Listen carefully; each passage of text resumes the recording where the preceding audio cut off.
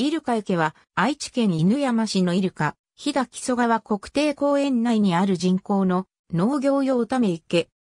2010年3月25日に農林水産省のため池100選に選定され、2015年には国際灌漑排水委員会による世界灌漑施設遺産にも登録された。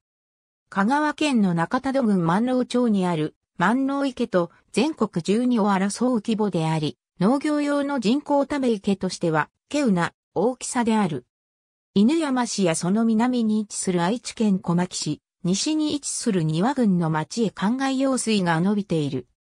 池の周囲を、北は今井山、南西は本宮山、尾張富士、白山の尾張三山が囲み、地半には博物館、明治村がある。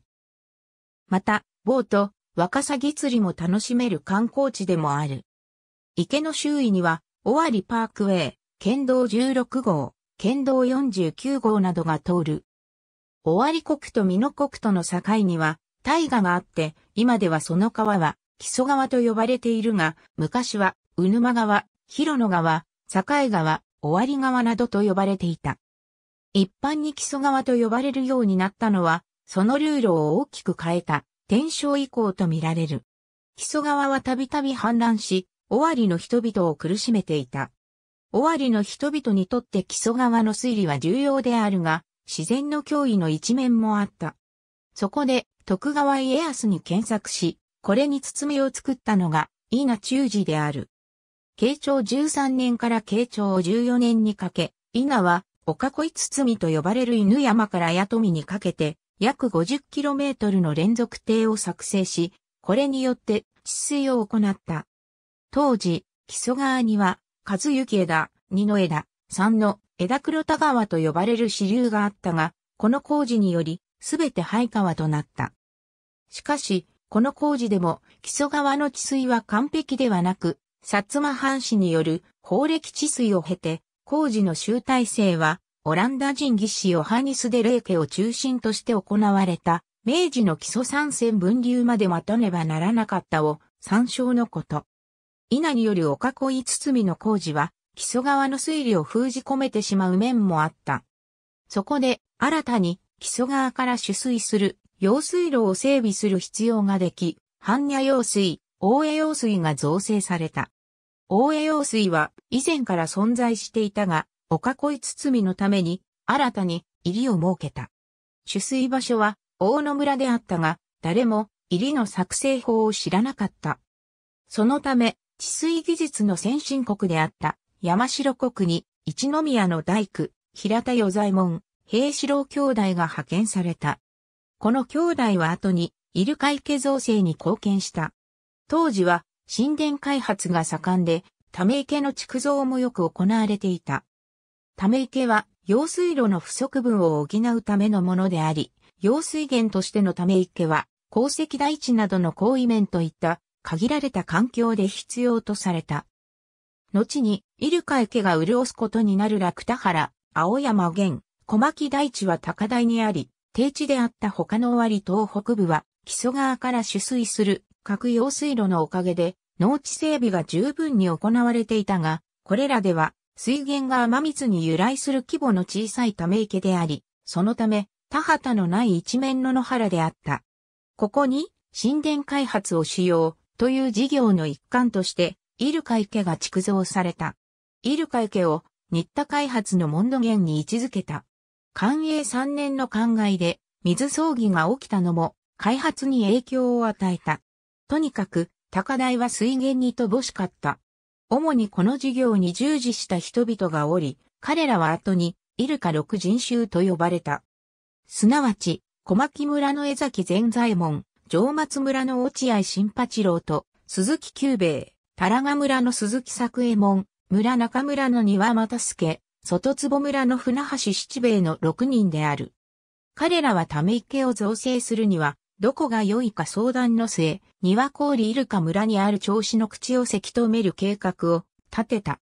イルカ村は、成沢川、新田川、奥入鹿川といった所流が流れ込む谷まで、尾張富士、羽黒山、奥入り、鹿山、大山といった山々に囲まれていた。所流はこの谷まで一つにまとまり、五条川となって南に流れる。この谷の出口が、調子の口と呼ばれるところであった。つまり、江崎前左衛門を筆頭とする、イルカ六人衆の考えは、この調子の口をせき止めて、イルカ村の谷にため池を作ろう、というものであった。村一つを潰す池は、今までにない前代未聞のもので、これほどの大規模なものは、他に、讃岐の万能池しかない。そんなものを作成しようというのだから、すでに彼らの王民、浪人の手に負える話ではなくなっていた。そこで、イルカ村を含む犬山を統治する犬山藩に請願し、尾張藩に開発願いを提出することとなった。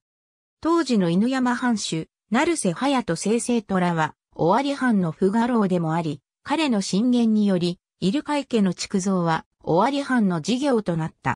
尾張藩はイルカ村の村民に対し、課長一件に月金一両を払い、転居させた。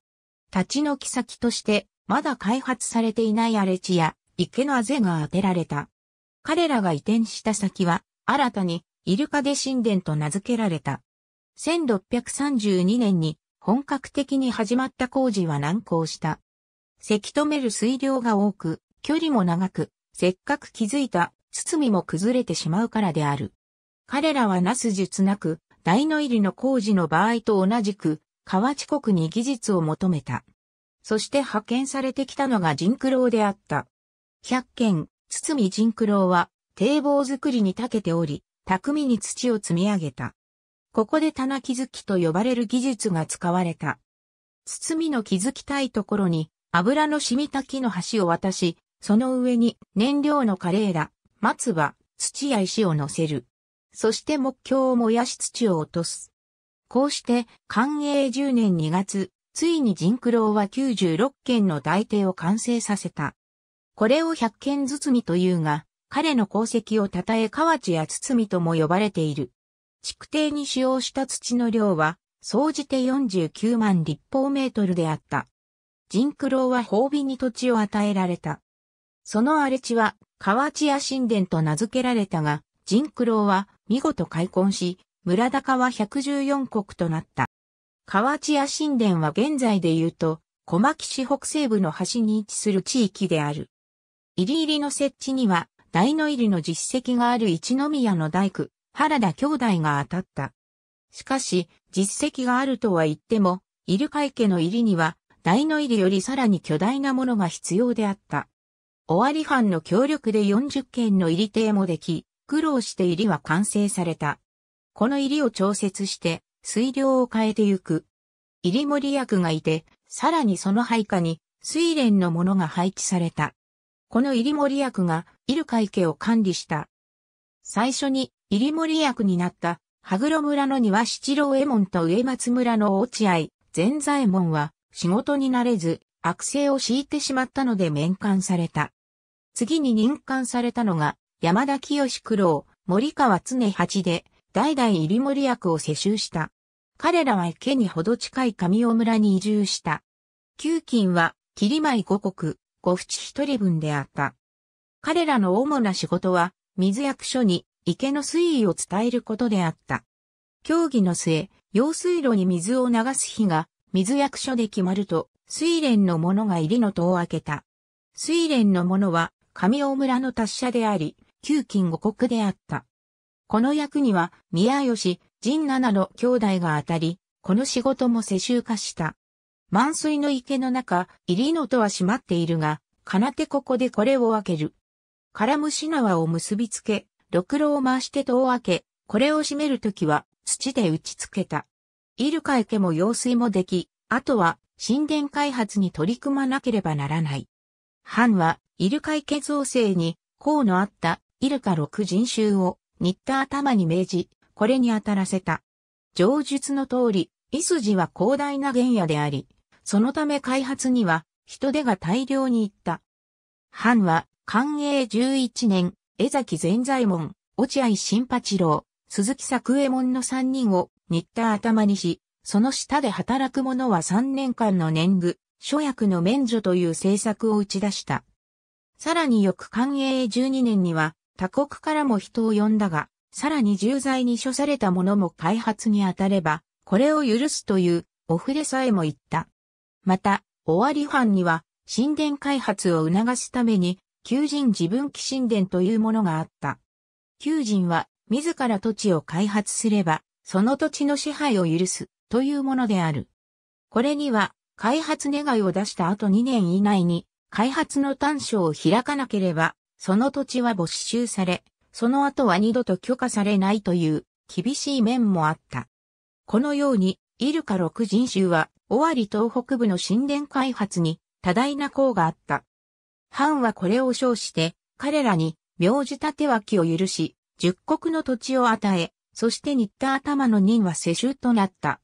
また、新田頭たちは新たに、基礎側からの取水用水の作成を計画した。こうしてできたのが、傷用水大手堀、新傷用水である。大手堀は、犬山の傷から取水し、五条川に接続するものである。新傷用水は、大手堀から分けて、春日井源を潤すものである。これらの神殿開発は、尾張藩の総国高を増やしたが、工事の連続は、藩の財政に打撃を与えた。初代藩主、徳川義直は、昭法元年に、藩主から桃石につき一両の金を徴収した。また、翌年の商法2年には、地業の基準を変え、原法を行った。イルカで神殿イルカ村の村民は、移転を余儀なくされたが、彼らには土地が与えられた。移転先として、前原神殿、奥イルカ村、菊川神殿、上尾イルカ神殿、北、富山イルカで神殿があった。これらがイルカで神殿である。このうち、前原神殿が一番移住した数の多かったところで、ある。また、前原にある南の神殿は、イルカ村の人が直接移住したところではないが、上尾イルカ神殿に移住したうちの数人が、開墾の困難さに音を上げて、さらに移住した地域である。イルカ村の歴史は古く、縄文時代後期のものとみられる、イルカ池遺跡がある。その昔、この地には、安漢天皇2年に、イルカ宮家が設置されたが、大化2年に廃止となった。また、虫鹿神社、天都宮白雲寺がある。虫鹿神社は、演技式に、庭郡、虫鹿神社として名の乗る古い社である。天都宮は、古くから信仰を集め、尾張北部の人々から厚く敬われた。白雲寺はその神宮寺で、三号をイルカ山という。そしてイルカ池造成の折、白雲寺は、虫鹿神社と共に、前原神殿へ移築された。明治元年に廃仏希釈に遭い、その後天都宮新名社となった。イルカ六人衆は、江戸時代初期、尾張東北部の農民の中心人物、まとめ役であった。彼らはそれぞれに一旦頭に任命され、その役は世襲となった。完成より235年、それまで一度も大きな災害を起こさなかったイルカ池も明治元年4月終わり頃からの大雨には耐えられなかった。5月13日の7つに100件包みが決壊し、イルカ池一杯に溜まった水は下流に溢れ、多大な被害を出した。これを明治元年のイルカ切れと呼ぶ。被害についてはいくつかの記録があるが、イルカ切れに不出来死人の長によれば、死者774人とされる。また、学田村の鈴木三郎正久家による、イルカ池堤防決壊によれば、浸水は、には、中島、春日井、海部の四軍に及んだといい、記された被害は、以下の通りである。特に、羽黒村の被害はひどく、家屋の屋根に避難しても逃れられず、多くが濁流に流された。下流の布袋では、水が引いた後に、フラン死体がそこら中に転がっているありさまであったという。これらの死体は穴をこしらえて、そこに埋め、塚とした。また、ある者は犬山へ逃げようとしたが、川の橋はすでに落ちた後で、誤って川に転落する者が続出した。下流でも死者こそ出なかったものの、被害はあった。流れてきた水の量は少なかったが、他に泥がかぶり、稲がダメになってしまったという。また、後にこのことが原因となって、イルカ池を干拓してこの地域のモンド源を木曽川に求める計画が持ち上がったが、結局これは取りやめとなった。イルカ池は確かにこのような大災害を起こしたが、防災の面での貢献も大きい。特に8月から9月にかけての暴風雨による出水の貯水は洪水防止に大きく役立っている。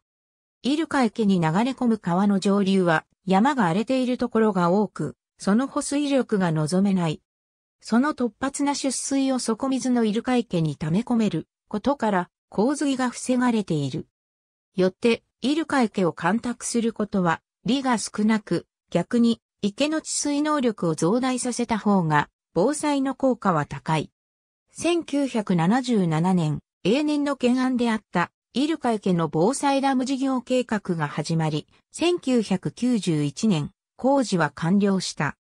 イルカ池農林水産省から、ため池百選、イルカ池は五条川の一部とみなすこともできる。五条川は、岐阜県多治見市の高谷城山を源流とする庄内川、水系、新川水系の一級河川で、八曽山の南方を経由し、イルカ池に一旦流入し、再び流れ出た後、清須市と天市の境界付近で、新川に合流するためである。イルカ池市 P374 から375イルカ池市 P363 から364参考資料。ありがとうございます。